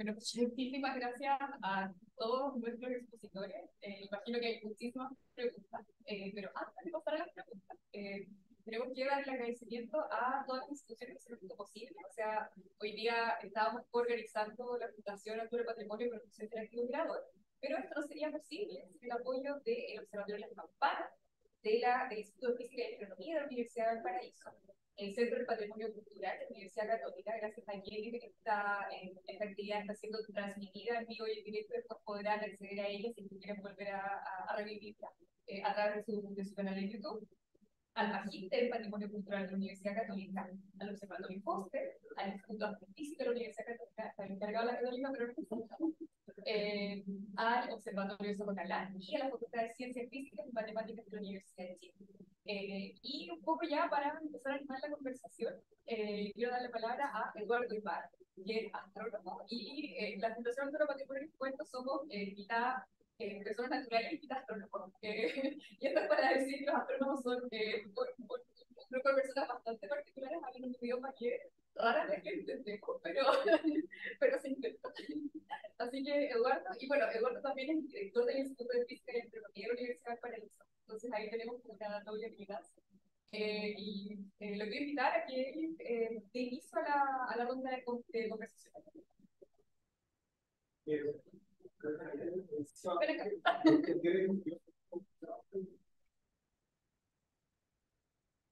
Gracias, Daniela.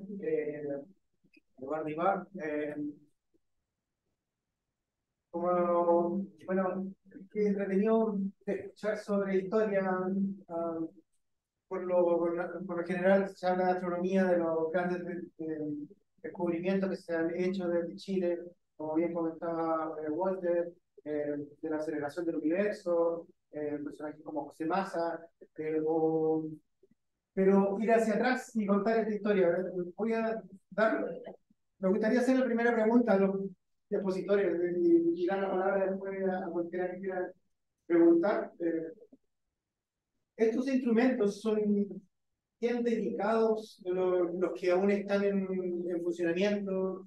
Eh, eh, y mientras los escuchaba me, me preguntaba si es que cuando se echan a perder, llaman a qué persona que aquí en Chile están eh, posibilidad de hacer un arreglo y más si es que están declarados como monumento histórico nacional, qué tipo de restricciones se le, se le, se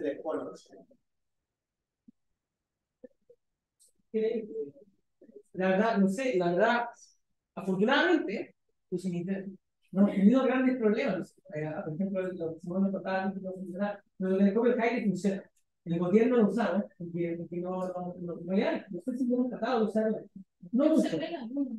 Claro, pero, pero en general funciona. La verdad es que no, como, como en realidad no tenido ese problema. Pero que que es un problema. O sea, que es un problema que hay que hacer algo, en algún momento algo va a pasar y, y, y no va a funcionar. Eh, incluso, por ejemplo, en, en uno de los telescopios como anécdota, en el, el telescopio del Sky, el, este es un telescopio bien antiguo. Entonces tiene, eh, ustedes saben que el cielo se mueve. El cielo gira en, en, en- casi 24 horas. Bueno, pero 24 horas, digamos. En un día entero, se da vuelta el entero del cielo.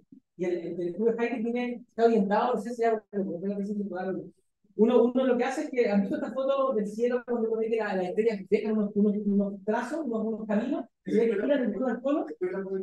Ah, claro. Entonces, la Tierra gira a esos polos, entonces no ese polo no gira nada, no que las estrellas giran, o sea, hay un mecanismo para que giren, para que giren los telescopios, puedan seguir las estrellas durante la noche no se paran. Porque si no, uno empieza a dejar esos trazos y uno no, no, no puede hacer una observación. El mecanismo del Hyde, el original, es un mecanismo completamente análogo con piezas de bronce, con canales de bronce hermoso. Pero ese mecanismo fue reemplazado en los años 60 y algo así por un motor eléctrico. Y ya no lo usamos. En el fondo tenemos un motor eléctrico que, que hace el tráfico. Porque yo sospecho que, o sea, ya no funciona. Pero en el fondo no hay cómo reparar esas cosas. Tema ahí, tema importante, pero en general a nosotros no nos ha afectado tanto, por como en tu casa, porque no tiene problema. Más o menos, a mí el otro día me tocó que el trabajo mecánico del post. Ah, sí, sí, el, en el observatorio nos, nos eh, enfocamos en mantener todos los sistemas lo más fidedigno posible. Entonces, por ejemplo, la rotación del tomo, cuando llegamos, estaba controlada por un motor. ¿Cuál fue la decisión que tomamos? Desconectemos el motor y hagamos que la gente vaya, que la visita gire hasta la rueda que es el tomo. Entonces, eso funciona bien. Le mostramos cómo con una cuerda y una polea se abre y se cierra la rendija del tomo. Eh, entonces, arreglos mecánicos a ese nivel eh, hemos ido descubriendo también, metiendo un poquito de mano eh, cómo funcionan, pero para la reparación del telescopio, por ejemplo, ahí tenemos la fortuna de que existen todavía, que viven personas que trabajaron ahí en los 80.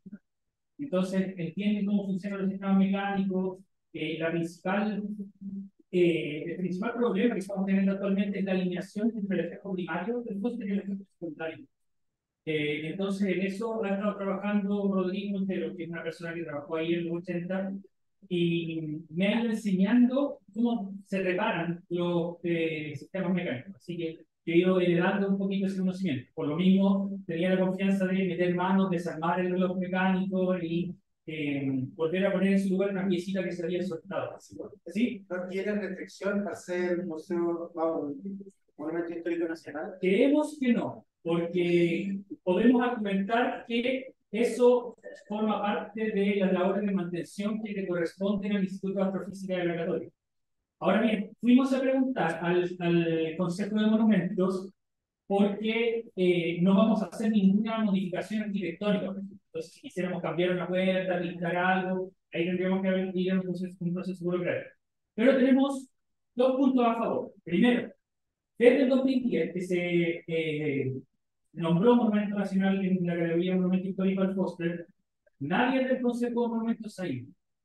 Y eso por inacción de autoridades de la Universidad Católica, porque le interesó perfecto, nombraron monumentos, nada más. Y segundo, eh, no hay autoridades o no hay personas expertas en el Consejo de Monumentos en patrimonio científico, hasta donde sabemos. Hay personas que saben mucho de patrimonio arqueológico, arquitectónico, pero patrimonio científico como tal, no tenemos personas expertas. Entonces, cuando fuimos y preguntamos, nos dijeron, ya perfecto, se lo podemos autorizar, pero necesitamos una carta de una institución científica que nos diga que los arreglos están bien y por lo tanto a la Universidad Católica le tocaría ser juez y parte, o sea, hacer los arreglos y también certificar si lo que estamos haciendo está bien. Así que tenemos bastante libertad en eso.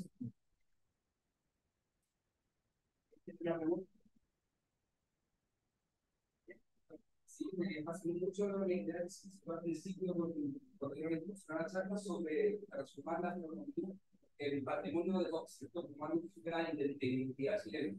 Me preguntaba si ustedes hacen un tipo de lobby para que los chilenos se incluyan la historia de la economía, que varios de ustedes que no se sabía que había observado en un lugar tan icónico como Andalucía o San para que ese espacio transversal educacional se levante de esta idea, para que la gente igual como algo eh, o, o lo Bueno, desde la fundación nosotros eh, tenemos estamos funcionando hace tres años, eh, pero sí nuestra, nuestra intención es poder en algún momento poder eh, tener impacto en políticas públicas. De hecho, en este momento estamos desarrollando un proyecto, eh, gracias al Fondo Comité Mixto de ese gobierno de Chile, con el cual estamos investigando el impacto que tiene el patrimonio o que tiene el patrimonio astronómico en los territorios donde, donde se inserta. Y un poco la idea de esto es poder también entender que en el caso específico del patrimonio astronómico nos encontramos un poco con la sorpresa de que eh, UNESCO definió el patrimonio astronómico como tal eh, hace en el año 2004. Entonces, eh, y es la única categoría de patrimonio científico que está, por así decirlo, institucionalmente o oficialmente definido.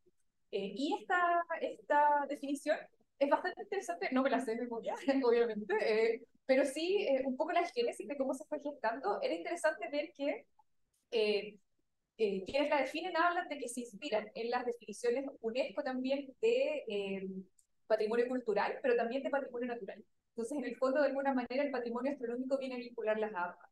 Y eso es eh, también el valor que nosotros reconocimos y por lo cual propusimos, concursamos este proyecto para investigar.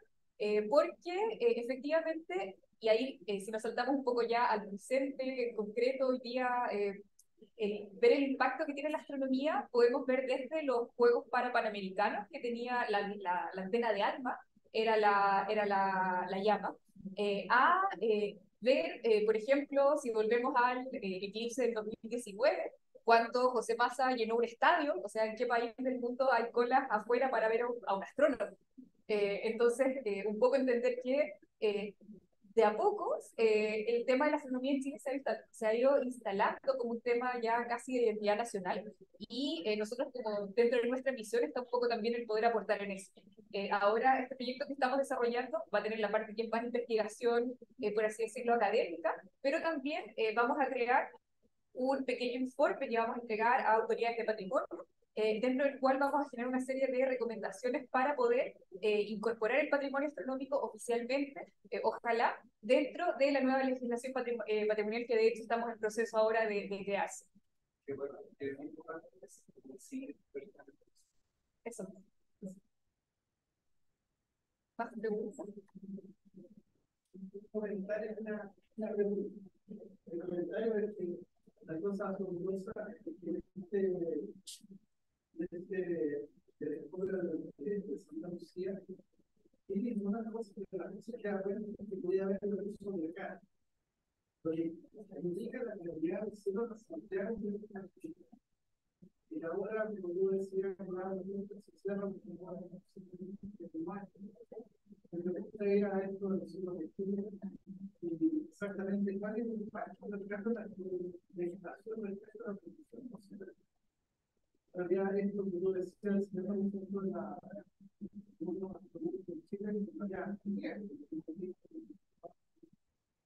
producto de, de la modernización. Como consejo, me pueden quizá yo pueda tomar cuenta, eh, además de estar a cargo de, de, de ciertas partes en, en, extensión, estoy a cargo del 10% del tiempo del telescopio que se distribuye a la comunidad nacional, eh, y está administrada por el que conocemos como CNETAL, que es el Comité Nacional de Asignación de Tiempo del Telescopio. Eh, y tenemos relación directa justamente con la protección de los, de los eh, recientemente se instauró una nueva norma médica y se eh, lanzó un decreto también para definir áreas astronómicas protegidas, áreas de importancia astronómica. Eso eh, lo que hace es proteger y cuidar los cielos y la oscuridad de los cielos alrededor de casi 30 comunas de Chile en distintos lugares. Es un decreto que abarca todo el territorio nacional, entonces si bien ahora las líneas comunes están definidas, están claramente en el norte, porque se, se centra mucho en los observatorios profesionales, en Paraná, hacía las campañas. El decreto cubre el territorio nacional por, por completo, entonces los próximos años también ir agregando un poquito más de territorio más comunes para poder seguir cuidando los cielos. Ahora, en cuanto a la norma médica, define, por ejemplo, cosas como que eh, las luces de los estadios, los centros deportivos, luces publicitarias, deben apagarse en algún cierto, en un rango horario durante la noche son luminarias que no necesitan estar encendidas toda la noche, que son muy potentes. Nos pasa a nosotros directamente, ya que desde Cerro Calán tenemos una vista completamente despejada hacia el oriente, y eso nos da una vista preciosa del Estadio Santiago de Apoquín, que es un foco gigante de la noche. Y eso que ahora está en reparación, están remodelando el estadio de la Universidad Católica, entonces, eh, cuando había partido antiguamente, cuando el estadio todavía no estaba en reparación y había partidos de fútbol, eso era un, un foco enorme eh, cerca del cerro y que no molesta porque todo el cielo desaparece. Entonces, cosas que se están implementando ahora en esta, eh, está, digamos, se está levantando esta versión tanto del Ministerio de Ciencia como el Ministerio de Medio Ambiente. Entonces, también eh, estamos limpiando para eh, ir comentando, como decía, en la privando la importancia de la eh, como decía, también la existe el patrimonio único, el patrimonio muy importante del país social, eh, no por algo, la bandera, la economía muy importante y gran parte de los chilenos, sino toda la, la población chilena se identifica con eh, el mundo nos conoce gracias a la economía también. Chile tiene un punto bien marcado a nivel mundial gracias a lo que que son los proyectos. Así que claro, están empezando a levantar normas que esperamos que se mantengan en el tiempo y que vaya pasando a través de los distintos gobiernos y que sigan aumentando, que no se detengan y que los beneficios se directamente al sistema que tenemos resultados y potenciar también que no necesitan esa Excelente, lo que se ha mencionado como una quería que una cosa que el problema que tenemos ahora, que son los porque hay, hay un problema que no, que no tenemos mucho control ahí, una cosa que hay que hacer como comunidad económica mundial. Entonces, un poco de los de nosotros políticos. Si ustedes saben, hay, mucho, hay una necesidad bien grande de dar conectividad a lugares, a zonas remotas de la Tierra. Entonces, se entiende la necesidad de tener satélites para dar internet a lugares remotos. Y, hay, una solución, hay varios, varios proyectos de lanzar muchos satélites en órbitas bien bajas para poder cubrir toda la Tierra y tener internet. Y estos satélites, como están tan bajos, tienen paneles solares y mucha luz. Y esa luz, eh, esa luz deja, deja unas trazas que tenemos en nuestras imágenes que arruinan mucho las. Eh, incluso pueden cambiar la, la, la visión que nosotros vamos a tener del nocturno en la ciudad. O sea, en algún momento de que va a empezar a ver, está pasando por todos lados. Entonces nos va a cambiar el paisaje. Yo creo que ese problema no sé lo vamos a resolver. Yo creo que un poco de la comunidad chilena. Tenemos como, a pesar de que tenemos, como tenemos una parte tan grande de los observadores del mundo, tenemos que nosotros ser parte de eso, tenemos una cuestión mundial que va a ser de. Eh, yo recuerdo que es la fundación y la Sociedad de Tecnología en la que yo pertenezco. Pero veamos dos cosas. Yo creo que es importante el patrimonio y después voy a hacer una consulta. Una es que se logró que el observatorio de Valparaíso estaba bajo protección como castillo de San José. Cambia la y primer automático se reconocido prácticamente que que patrimonio, que ahí eh, y por otro lado, que se declarara el documento, documento eh, patrimonio nacional, el Juan de Quintana Mancha.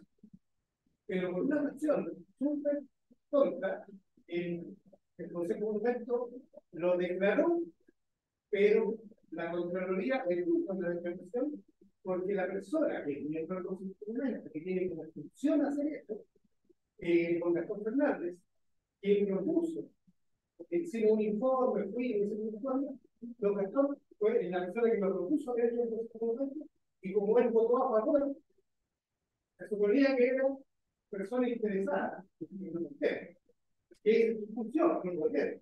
Bueno, está detenido. Entonces tenemos dos patrimonios que están siendo declarados y que yo creo que es muy importante que hay un papel de declaración de patrimonio. Entonces, yo creo que aquí estamos todos Deberíamos ver cómo hacer para que se reconozca el. Porque como dicen, de los conceptos no hay ninguna persona que entienda la tierra.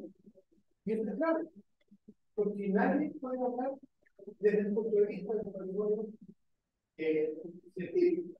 Que no solamente los los no. Entonces, yo que sería bueno que el mismo museo generador, la Iglesia Católica, igual, nos pongamos de acuerdo, el IFA, la Fundación, nos pongamos de acuerdo el Estado Chile la relación con la preservación del patrimonio por el patrimonio.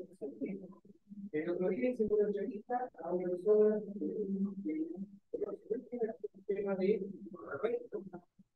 hasta los años 60, la casa de los gatos, fue uno de los de que una persona que la casa estaba intacta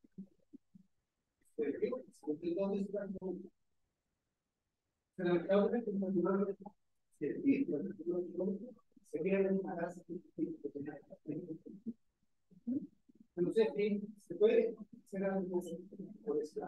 Yo creo que es una muy buena idea. Creo que hay que aprovechar esta oportunidad de todos juntos una visión conjunta y impulsar temas de, de esa dirección. No, sé que estamos un poquito juntos en el tiempo, así que me gustaría eh, pasar a la última etapa de, de este conversatorio, seminario, y para ir cerrando. Eh, bueno, el tema del patrimonio astronómico va a seguir siendo nuestra bandera de, de por así decirlo, de la Fundación. Eh, claramente eh, estamos ahora frente a un proceso de, como de renovación de la normativa patrimonial en Chile, que ya está bastante obsoleta. nosotros esperamos que al poder, ojalá conseguir reunirnos con autoridades para de alguna manera poder hacer presente lo importante que es el patrimonio astronómico para Chile, pero también evidentemente como esta dimensión científica del patrimonio que eh, de alguna manera eh, eh, cómo se puede proteger de una manera que sea sensible con el, el, valor mismo del patrimonio. Por ejemplo, en el caso del Observatorio Foster, todas estas restricciones que pone hoy día la, la, la, Ley de Monumentos Nacionales, es bastante complejo pensar en poder proteger patrimonialmente, por ejemplo, lo alto porque finalmente sería congelarlo en el tiempo y, es, y quitarles mucha, eh, mucha autonomía en las operaciones. Entonces, claramente hay que eh, hacer, como eh, llevar adelante como esta idea de poder incorporar la dimensión del patrimonio científico dentro de la normativa patrimonial. Y ya estamos justos en la hora, así que un poco para ir ya cerrando y agradecer la, la, la presencia de todas y todos acá.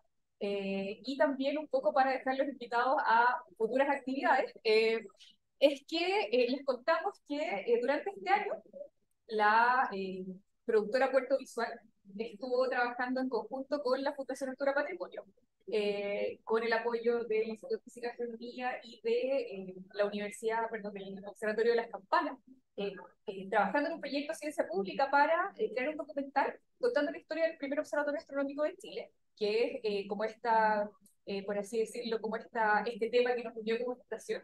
Eh, por, lo, por, lo, tanto, para nosotros es muy simbólico que esta historia hoy día tenga esta, como esta dimensión ya más concreta de poder contar la historia y que llegue a más gente. y para cerrar la, la, esta actividad, queríamos mostrarles el trailer Eh, este trail, el documental completo va a salir por las pantallas, por las pantallas de eh, LTV el día 20 de diciembre. O equivoco. Lunes 18. Lunes 18 de diciembre, por las pantallas de LTV van a poder ver el documental completo. Eh, y nosotros estamos muy emocionados de que esto ya sea una realidad, así que eh, me voy a demorar un segundo, pero eh, les voy a eh, compartir el, el tráiler del documental.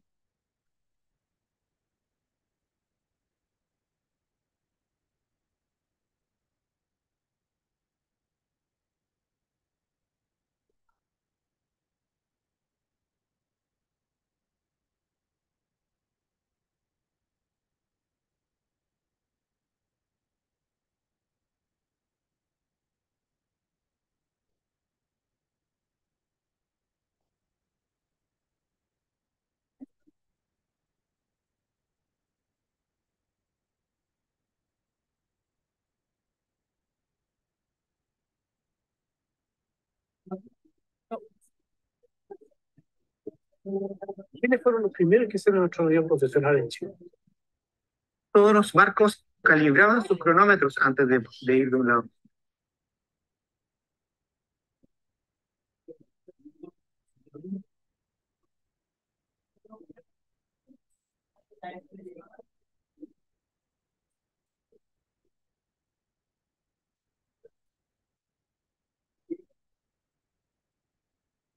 ¿Quiénes fueron los primeros que hicieron astronomía profesional en Chile?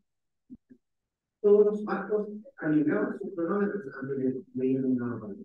Entonces Juan Más utilizó la astronomía para proveer un servicio a los barcos que estaban recibiendo.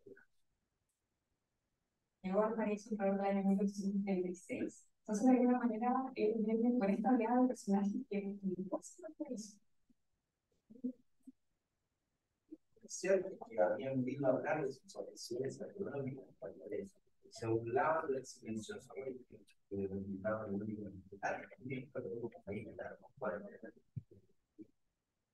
El legado de Juan Juan es el inicio del desarrollo de la economía por lo tanto, cómo a la potencia mundial de la economía el.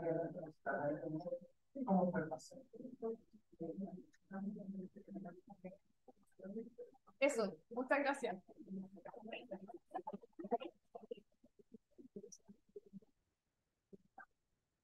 Quedo muy agradecido, un poco como anfitrión de las últimas palabras finales, porque ya muy cortitas, agradecido de verdad por la fundación, por ustedes, por su interés y de verdad por todos los expositores. Así que muchas gracias a todos los que participaron de esta actividad. Tenemos de aquí al cierre del museo media hora, donde ustedes pueden recorrerlo. Hay coffee para quien quiera también participar, así que pueden ahí tomar sus lo que ustedes quieran y lo que sí no podemos bajar con comida a la extensión, porque tengo aquí esta educación que no va a estar mirando. Pero podemos conversar, podemos quizás discutir algunos detalles que hay quedado de la presentación, pero también son libres de poder recorrer el museo. Y les agradezco a todos y a todos por haber participado de esta actividad. Así que muchísimas gracias.